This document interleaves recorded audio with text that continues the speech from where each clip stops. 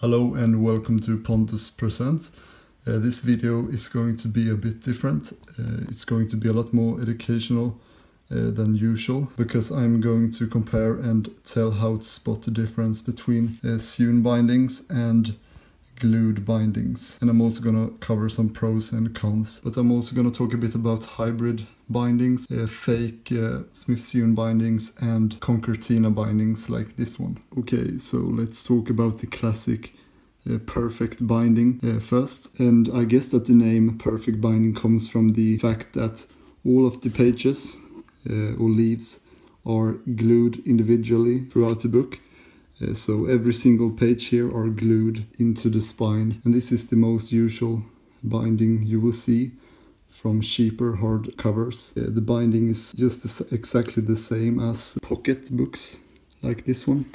So how can you tell if you have a glued binding or a, a Smyth binding? Well, it's quite simple. You can just look at the bottom here. You can often see very easily that the pages are indeed glued into the, the spine. But if you open up the book and fail to find a thread on the gutter, uh, then that's also a sign that the book is glued instead of sewn. So what you want to look for when you want to tell the difference between a glued and a sewn binding is these, uh, these bundles of pages which are called signatures.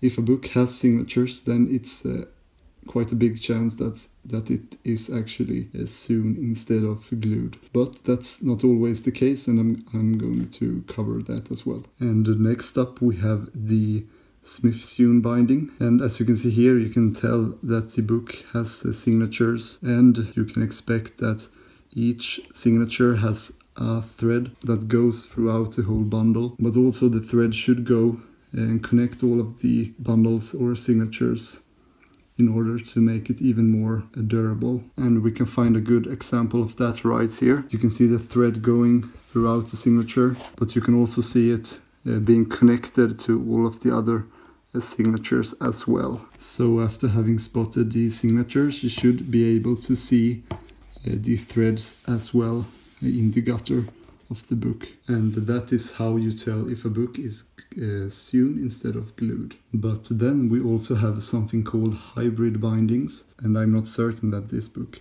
is a hybrid binding. So let's say that every signature here is sewn uh, throughout, but if the signatures are not connected throughout the book, then it's a hybrid binding. Uh, because every signature is sewn, but every signature or bundle is not connected with each other. Uh, instead, they have used a glue to keep the signatures in place. And then we have the fake Smyth sewn binding. You can see here uh, at least somewhat uh, of the signatures. They looked pretty messed up, but uh, but this book is not glued with a perfect binding. It actually has glued between every page in the signature instead of a thread going through it, which durability wise is not that great, but still probably better than a perfect binding. And how can you tell if a book has a, a fake Smyth sewn binding?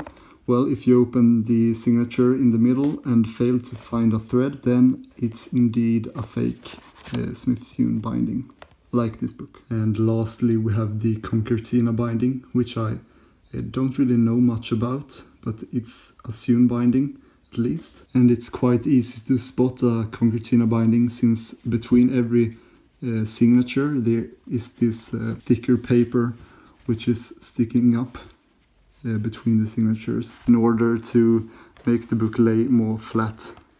So what is the real difference between a sewn and a glued binding quality wise? Well the main concern with all glued bindings is the durability because the leaves do tend to fall off if you handle the book without care and if you really open the book up too much the pages can fall off since the glue uh, might crack. But with the sewn binding you get a very durable uh, book instead. The pages will most likely not fall out uh, unless you do something very aggressive.